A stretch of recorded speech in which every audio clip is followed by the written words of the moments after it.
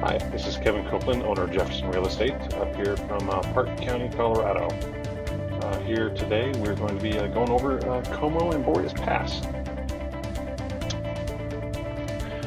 Como is a little town just outside of a Fairplay, about uh, nine miles just south on Highway 285.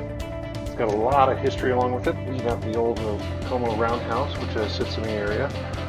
This is built by the Italian uh, stonemasons uh, back in 1881. Uh, this continues up onto uh, Boreas Pass.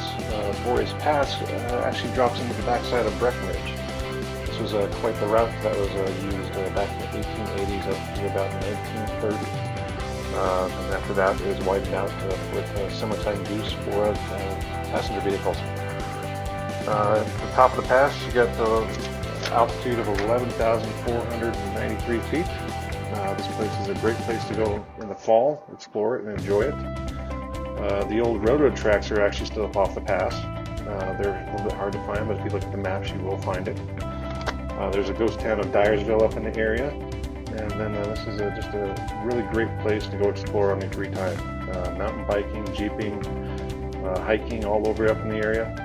So if you happen to have some free time, jump up there to Como and Boreas Pass and have a look.